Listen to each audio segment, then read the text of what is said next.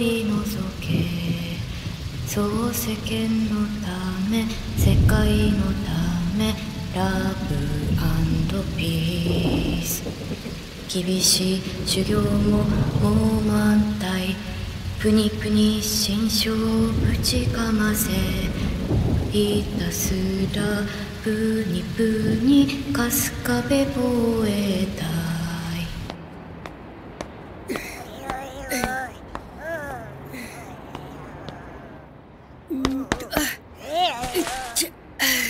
え？マサオくんしんちゃん。マサオくん師匠も無事だったんですね。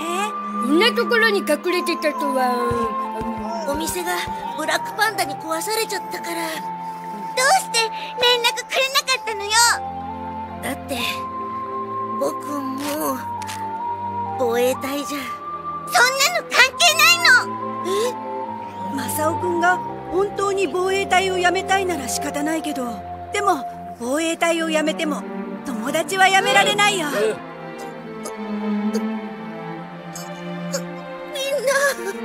でやめちゃうの？防衛隊。やめない！やめたくない！よかった。マサオくんがいないとつまらないもん。しんちゃんひどいこと言っちゃってごめんね。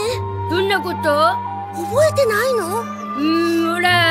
綺麗なお姉さんのことしか覚えられないから。うん。すごく気にしてたのに。パンツ丸見え。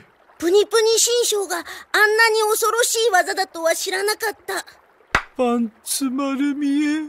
それにランちゃんが大変なことをして本当にすまないってマサオくん師匠の言ってることわかるのあうん一緒に生活しているうちになんとなく。すごい。今なんでしょうねひまわりちゃんは大丈夫だよ。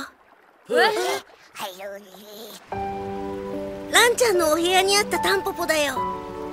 これが普通だぞ。トゲトゲだったのに。毎日根気よく水をあげてたら元に戻ったんだ。きっとタンポポは普通じゃないものを与えられて普通じゃなくなってただけなんだよ。地道に普通のものを食べさせてれば元のひまわりちゃんに戻れるはず。だからしんちゃん心配しないで。地道にコツコツが一番なのさ。なんだか今マサオくんが普通に兄弟子に見えた。え？普通にかっこいいよ。なんだかドキドキする。ちょちょっとみんなどうしたの？やだな。いつものみんなじゃない。師匠。パンツ？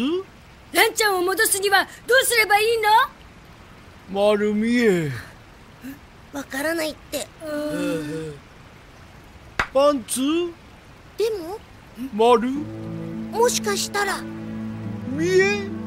ランちゃんのトゲトゲでガチガチになった心を開いてプニプニの心を取り戻せれば元のランちゃんに戻るかもしれないって。本当パンツ丸見え。私たちにできるかしら？トゲトゲやガチガチにならず常にプニプニの心であれ。人は柔らかい心を持って己のことばかり考えずに他人とつながって生きるべし。みんなプニプニの心忘れたの？僕たちだってプニプニ剣の修行したじゃない。思い出してよ。